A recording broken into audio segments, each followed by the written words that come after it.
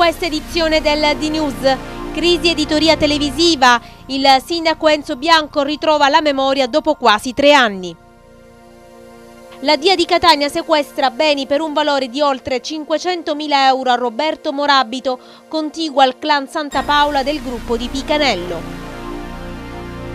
Restituzione delle quote di compartecipazione alla spesa sanitaria, continuano le richieste senza la possibilità di fare ricorso. CGL, CISL e WIL sul piede di guerra. La Regione azzera le risorse per l'impiantistica sportiva. Dei 40 progetti approvati ne saranno finanziati solo due. La denuncia arriva da Forza Italia.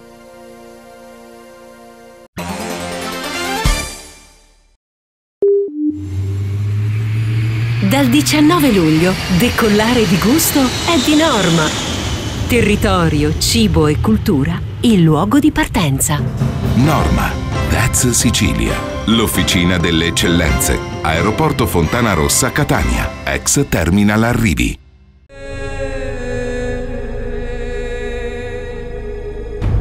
A Belpasso la tradizione si fa spettacolo.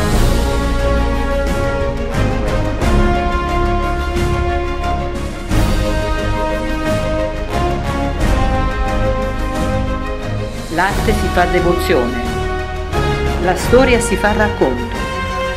Festa del patrocinio.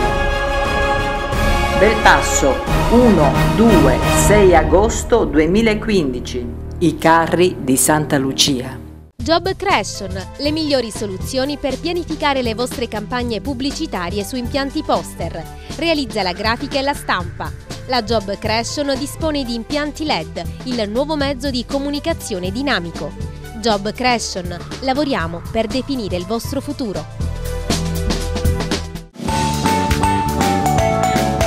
Entra da Mondo Ragazzi e troverai tante idee per rendere felice il tuo bambino. Mondo Ragazzi è il mondo dei piccoli, abbigliamento e calzature da 0 a 16 anni con i marchi più prestigiosi. Da Mondo Ragazzi corsi preparto gratuiti, parcheggio riservato, angolo fasciatoio e stanze dei giochi. Mondo Ragazzi, amici d'infanzia. A Catania in via Pola 19, ad Agrigento in via Tenea 22, a Sciacca in via Licata 95 e a Giarre in Corso Italia 168.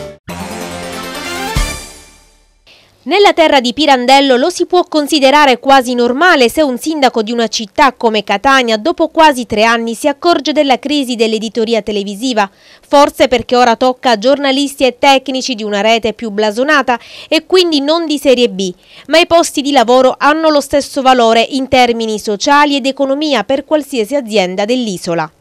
Le dichiarazioni del sindaco Bianco altro non sono che l'ennesimo atto di scaricare e ribaltare su altri responsabilità che nei fatti sono di esclusiva incapacità politica, quella stessa classe politica che governa in tutto il paese e che nulla ha fatto in oltre tre anni per evitare quando a suo tempo prospettato proprio al sindaco dal nostro editore Francesco Di Fazio, il quale ricorda Bianco qualora avesse ritrovato la memoria, che sia ancora in attesa di creare quel ponte istituzionale tra Catania e Palermo per risolvere le problematiche del settore, come lui stesso aveva dichiarato nel giugno del 2013, dopo il quale seguì il vuoto senza nessun incontro per l'indisponibilità della sua stessa segreteria agli impegni presi. Qui si gioca una partita importante per la Sicilia perché se il settore dell'editoria è in crisi la libertà di stampa soffre e quando in una regione delicata come la Sicilia si spengono eh, televisioni, si chiudono aziende di informazione è un momento molto grave e un lutto per la democrazia. Allora iniziative concrete, l'incontro di oggi è stato molto operativo, eh, io chiederò al Presidente dell'Assemblea regionale di calendarizzare per l'Aula il disegno di legge presentato da alcuni deputati regionali che prevedono aiuti per quanto riguarda l'emittenza locale che è la più penalizzata tra tutte le realtà eh, editoriali del nostro Paese. In secondo luogo avrò un incontro con la Regione Siciliana, con il Governo, col Presidente Crocetta e chiederò che siano trovate le risorse per andare in questa direzione. Ulteriormente creerò qui a Palazzo degli Elefanti una task force per l'occupazione per tutte le aziende in crisi in modo da poter aiutare cercando di trovare soluzione al dramma della disoccupazione e infine per quanto riguarda questo settore un incontro col mondo del commercio, col mondo dell'industria per vedere di trovare soluzioni pubblicitarie che facilitino permettono il ricorso alla eh, pubblicità nelle televisioni e quindi diano quell'ossigeno che oggi francamente manca. La crisi non si risolve con le pacche sulle spalle o rimandando ad altre soluzioni come gli ammortizzatori sociali che tra l'altro esistono già. La crisi si risolve con l'impegno vero della politica, incontrando le associazioni nazionali delle tv locali come la REA, le quali conoscono i veri problemi del settore e possono indicare le soluzioni per il continuo dell'emittenza televisiva e di conseguenza salvare i posti di lavoro con il prezioso contributo dei sindacati. Ricordo a Enzo Bianco che la Sicilia è l'unica regione che non ha utilizzato i fondi europei per il passaggio al digitale terrestre. Vi sono ancora 2 miliardi del vecchio POR 2007-2013 inutilizzati. Nello stesso tempo vi è la legge 304 del compianto onorevole Alianza rimasta senza decreti attuativi. Salvare il settore televisivo forse è ancora possibile, ma serve una politica seria che punti a creare sostegno, sviluppo e impulso con le associazioni che possono indicare quali sono le migliori soluzioni per salvare realmente i posti di lavoro. La direzione investigativa antimafia di Catania ha eseguito nella mattinata odierna un decreto di sequestro di beni emesso ai sensi delle vigenti disposizioni antimafia del locale tribunale nei confronti di Morabito Roberto, contiguo al clan Santa Paola del gruppo di Picanello. Il predetto, già condannato in via definitiva per tentato omicidio e per una serie di rapine commesse tra Catania e alcune città della Toscana, con sentenza della seconda sezione del Tribunale di Catania, è stato condannato alla pena complessiva di 9 anni e 8 mesi di reclusione per estorsione, usura e installazione di apparecchiature atte a intercettare e impedire conversazioni telegrafiche e telefoniche. Con il decreto è stato disposto il sequestro di un'elegante villa nel centro cittadino, di due autovetture di grossa cilindrata, nonché rapporti bancari per un valore stimato in oltre 500.000 euro. Le indagini di natura economico-finanziaria e patrimoniale delegate alla locale DDA, espletate dal centro operativo della DIA di Catania, diretto da Renato Pambino, hanno evidenziato profili sperequativi tra i redditi dichiarati e il patrimonio posseduto dal Morabito e dai suoi familiari, tali da fondare la presunzione accolta dal Tribunale di un'illecita acquisizione patrimoniale. Il sequestro del patrimonio del morabito Roberto trae la sua genesi dall'applicazione delle norme giuridiche vigenti di contrasto alla criminalità organizzata e testimonia certamente una costante attenzione all'evoluzione del fenomeno mafioso da parte della magistratura, in stretta collaborazione con la direzione investigativa antimafia. L'attività del centro operativo di Catania, incentrata sul cosiddetto principio di doppia azione, mira non soltanto a contrastare il fenomeno mafioso assicurando alla giustizia giustizia ai partecipanti ai sodalizi criminali, ma anche a livello patrimoniale, al fine di spogliare di qualunque risorsa i sodalizi criminali, depotenziando l'intera organizzazione. La squadra mobile di Catania ha dato esecuzione ad ordinanza applicativa di misure cautelari del Tribunale di Catania nei confronti di Orestano Giuseppe, classe 1962, pregiudicato, già detenuto per altra causa, ritenuto responsabile in qualità di esecutore materiale dell'omicidio del pluripregiudicato Sebastiano Fichera, classe 1971, commesso a Catania la sera del 26 agosto del 2008. Alle 20.10 circa del 26 agosto del 2008, a seguito di una segnalazione giunta sul 113, la squadra mobile si recò in via Cairioli nel popolare Rione Enesima, dove dinanzi al civico numero 39 era stato attinto mortalmente da colpi d'arma da fuoco Sebastiano Fichera, pregiudicato per associazione mafiosa, traffico di stupefacenti, reati contro il patrimonio e altro. È stato accertato che Fichera, mentre si trovava a bordo di uno scooter, era stato ucciso mortalmente da killer con tre colpi d'arma da fuoco che hanno sparato alla nuca e alla spalla. Sul selciato sono stati rinvenuti quattro bossoli calibro 7,65. Per lo stesso delitto, l'1 dicembre del 2011 era stato tratto in arresto in esecuzione di misura cautelare Biagio Sciuto, classe 1948, capo indiscusso dell'omonima cosca mafiosa, il quale in qualità di mandante aveva deciso l'eliminazione di Fichera, anch'egli affiliato a Itigna a seguito di contrasti economici. In buona sostanza è stato imputato alla vittima di fare affari nel settore degli stupefacenti con appartenenti alla cosca Cappello Bonaccorsi senza dare conto alla famiglia di appartenenza. Questa circostanza era mal tollerata dai vertici della cosca Asciuto Tigna, che si sono visti sottratti ingenti guadagni in favore della famiglia Cappello Bonaccorsi. Proprio a causa di questa situazione, ritenendo che Fichera mancasse ai propri doveri di affiliato, Biagio Asciuto e Giacomo Spalletta ne hanno voluto la morte. Le indagini svolte costituiscono l'ideale prosecuzione e il completamento di quelle sfociate nell'operazione Revenge dell'ottobre del 2009 e Revenge terzo del novembre 2011, che hanno consentito di svelare numerosi fatti di sangue commessi nell'arco dell'ultimo decennio.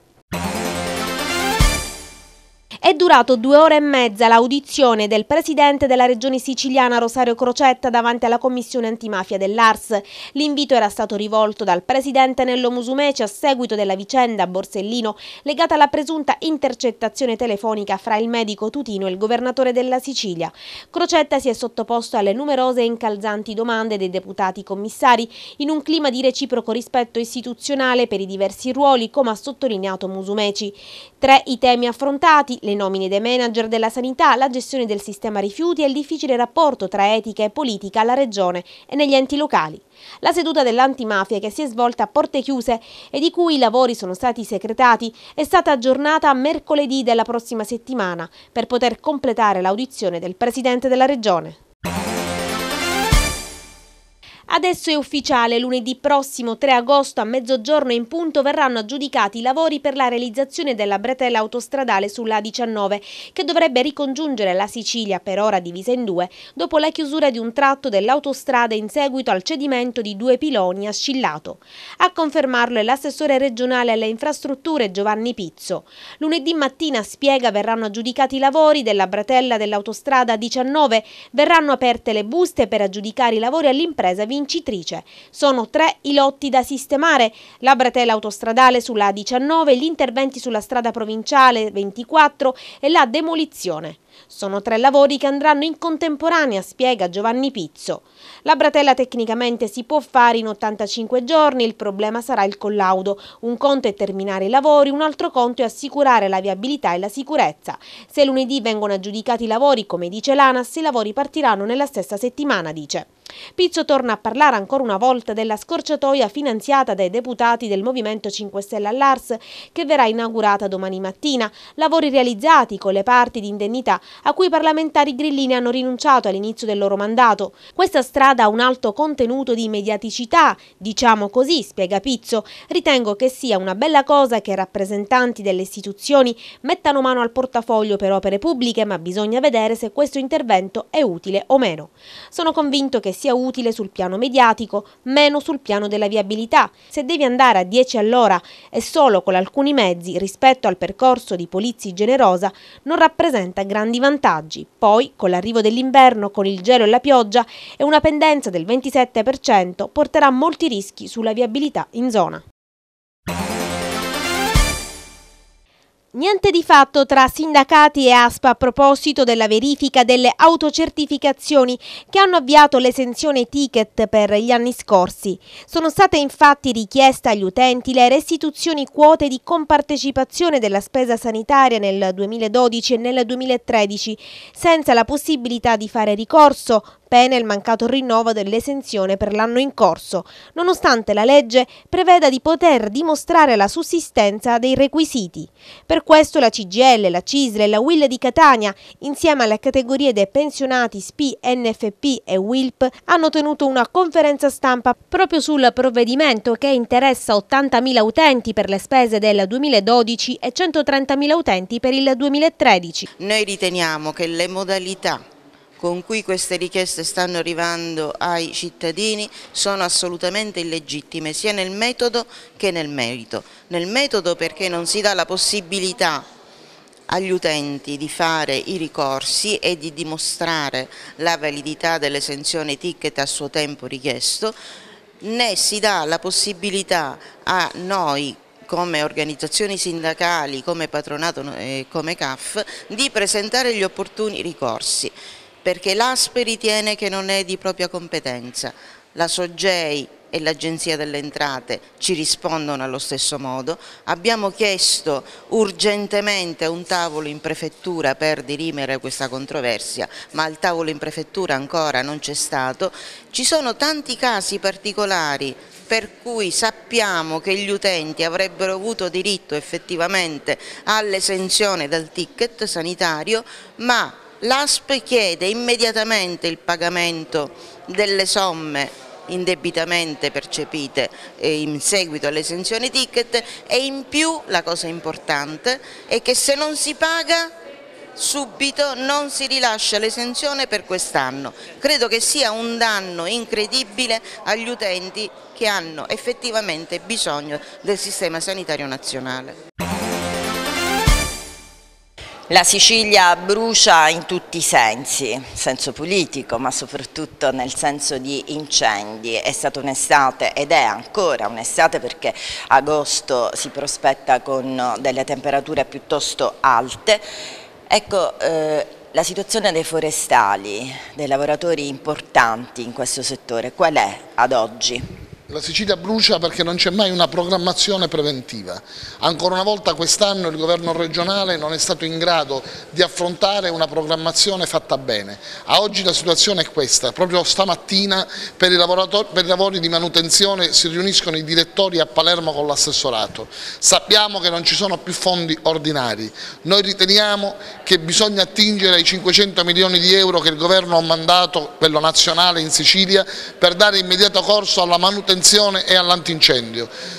Proprio in questi giorni smetteranno di lavorare 101isti e 151isti che finiscono il loro turno di lavoro.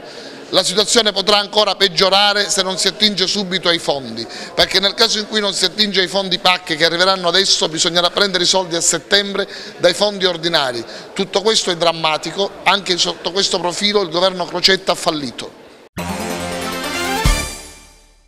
Forza Italia stamani fa una conferenza stampa per parlare dell'azzeramento spregiudicato delle risorse per l'impiantistica sportiva, ovvero 40 progetti approvati, ne saranno infatti finanziati solamente due. Perché? Ma Forza Italia oggi vuole richiamare l'opinione pubblica a questa incredibile decisione del governo Crocetta di voler azzerare un capitolo di 51 milioni 900 mila euro relativi all'impiantistica sportiva. Una decisione diciamo noi spregiudicata perché se da un lato creerà una privazione per l'intero territorio siciliano di importantissime strutture sportive, le ultime delle quali furono costruite nel 97 con le Universiadi, dall'altro lato dobbiamo anche considerare la mole di contenziosi di debiti fuori bilancio che saranno creati a carico dei comuni, a danno quindi dei cittadini e dei contribuenti. Insomma, ancora una volta il governo Crocetta è assolutamente fallimentare, ancora una volta il governo Crocetta crea soltanto danni alla Sicilia. Anche il settore sportivo insomma, risente di un deficit da parte di questa regione che eh, non eh, riesce ad approvare quelli che erano 40 progetti, bensì solamente due. Assolutamente sì, che si aggiunge fra le altre cose ad una decurtazione molto consistente che si è registrata in questi ultimi anni all'interno dei capitoli che finanziano lo sport di vertice di base. Basti pensare che negli ultimi 5 anni lo stanziamento complessivo, i 12 milioni di euro che servivano per finanziare le leggi 8, 18 e 31, sono state ridotte a 1 milione e 700 mila euro. Questo a testimonianza di un percorso eretico intrapreso dal governo Crocette con gli assessori allo sport che sono alternati, che ha massacrato lo sport di vertice di base, che svolge una funzione fondamentale di promozione del territorio, di divulgazione dei valori tradizionali, della competizione, della lealtà e di grande valenza anche dal punto di vista medico-sanitario. Ecco perché io credo che bisogna invertire la rotta, ma quest'ultimo episodio credo che sia assolutamente coerente lungo un tracciato davvero eretico intrapreso da Crocetta e dal suo governo.